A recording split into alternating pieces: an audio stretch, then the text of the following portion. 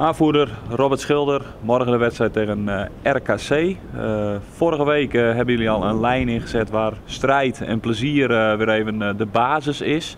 heb je dat teruggezien tegen Topos? Nou ja, gedeeltelijk natuurlijk. ik denk niet dat het aan, aan, een gebrek aan strijd lag. Het was natuurlijk geen, geen goede wedstrijd, geen spectaculaire wedstrijd. Maar ik vind wel dat we, in zekere zin onze rug wel een beetje hebben gerecht na de wedstrijd tegen Dordrecht was natuurlijk, uh, stond natuurlijk erg veel druk op deze wedstrijd. Uh, veel spanning, dat merkte je. En ik denk dat we wel, uh, vooral het begin was, was best wel behoorlijk. nou ja, uiteindelijk hebben we geen goal weggegeven, hebben we niet verloren. Dus dat, dat was oké. maar ja, we hadden natuurlijk wel erg graag willen winnen. Omdat we juist dan ja, ons hadden kunnen revancheren van de week ervoor. Ja, je zegt het goed. We verliezen hem in ieder geval niet. Toch werden er ook niet bijster veel kansen gecreëerd. Dat ligt misschien ook aan Top Os. Verwacht je morgen een vergelijkbare situatie tegen RKC? Nou, niet echt. Ik denk dat Os was ook echt, echt wel een lastige tegenstander voor ons. Helemaal in die situatie. Zakte echt massaal in. liet ons aan de bal. Uh, ik verwacht dat wel in iets mindere mate morgen, maar ik verwacht niet, uh, niet dat uh, eh, RKC direct heel veel druk gaat zetten. Nee, want ze zullen nu misschien eerder zeggen van geef Cambuur maar de bal en laat ze de oplossing maar zoeken. Zou kunnen dat ze dat denken, dat ze weten natuurlijk dat we in een moeilijke fase zitten, dat het vertrouwen, ja, dat, dat druipt er niet vanaf. Dat zou een, reden, een, een tactiek kunnen zijn. Je zou kunnen zeggen we gaan ze meteen vastzetten ja, de trainer die denkt van dat er wel meer ruimtes uh, zullen vallen morgen uh, tegen RKC. Is dat uh, in ons voordeel, denk je? Dat, ja, het is maar net hoe we daarmee omgaan natuurlijk, maar daar liggen, ja, daar liggen mogelijkheden, denken we. ja, omschakeling, dat is eigenlijk altijd heel erg belangrijk ja, tegenwoordig. ja, daar zullen we scherp moeten zijn en basis moet inderdaad gewoon plezier zijn en heel hard werken. En dan, uh, ja, dan moeten we een goed resultaat uh, een keer gaan halen. Ja, want ik hoor mensen het al vaak zeggen, de ruimtes kunnen er wel liggen. Maar dat gaat allemaal gepaard met een stukje vertrouwen dat je daar ook in durft te voetballen. Hè?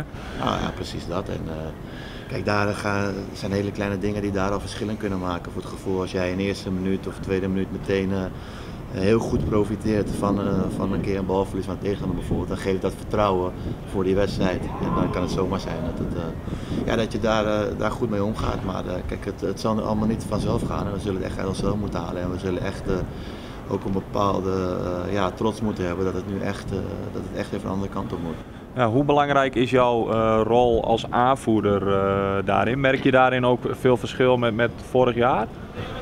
Uh, nou ja, uh, nu heb je, ik heb wat meer het gevoel dat het uh, inderdaad een vertrouwenskwestie is op dit moment voor een groot gedeelte. Dus het zit dan ook ja, een beetje tussen de oren natuurlijk. Dat is aan de ene kant heel moeilijk te trainen. Dus het gaat dan iets, meer, iets minder om tactische, tactische aanwijzingen bijvoorbeeld. Maar ik heb ook vorige week wel proberen te zeggen tegen groep na Dordrecht ja, dat het nu even heel vervelend is, maar dat we wel echt zo fris mogelijk en zo goed mogelijk weer nu naar de volgende wedstrijd toe moeten werken.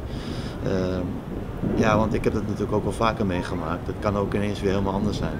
Ja, want ik, ik, ik heb je ook wedstrijden wel meegemaakt dat ik je zag schreeuwen. Dat ik dacht van jeetje, die, uh, die, die, die, die, die, wil graag uh, dat, er, dat er verandering in komt. Maar heb je jezelf bijvoorbeeld ook aan moeten passen uh, in, in jouw rol?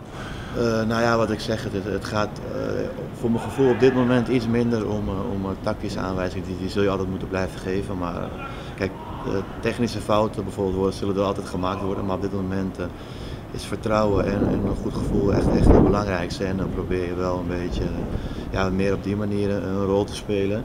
Maar ja, ik zal altijd uh, ja, wel dat op zich dicht bij mezelf blijven en ja, doen wat ik eigenlijk altijd doe. Ja, nou, vorige week toen ging het publiek er toch in de tweede helft ook echt even achter staan. Toen had je ook het idee van dat, dat vonkje dat, dat, dat slaat dan ook wel even over, hè? Ja, ik moet zeggen dat was wel een heel, heel mooi, mooi moment, vond ik. dat het publiek in, in, ja, deze tijden eigenlijk zo, zo massaal erachter ging staan. En je zag inderdaad dat het toen een beetje oversloeg op het, ja, op het team. En ik hoopte heel erg in die fase dat we een goal konden maken. Want dan zou het echt, dan was ik ervan overtuigd dat we er overheen zouden klappen. En dat het net het moment misschien wel was geweest dat we nodig hadden. Maar ja, we waren niet, ja, niet goed genoeg om dat in de laatste fase af te dwingen. Ja, dat was jammer, maar dat was wel, ik vond het wel een mooi moment. Dus dat in uh, Waalwijk maar even een vervolg geven, denk ik. Ja, nou ja, we moeten in ieder geval, kijk, zo werken we natuurlijk altijd. Je moet altijd de goede dingen er zeker nu proberen uit te te pakken. En nou ja, die zijn, die zijn er wel geweest, ondanks dat het natuurlijk nogmaals geen, goede, geen goede wedstrijd was. maar het zou heel mooi zijn als we een resultaat kunnen. Ja, want het is toch een directe concurrent. Ja, dat ook. Maar op dit moment uh, maakt het eigenlijk niet eens zoveel uit tegen wie we spelen. Alles, alles is op dit moment moeilijk. Uh, en, en het zal gewoon een heel, echt onze boost geven, denk ik, uh, als we een goed resultaat weten te behalen.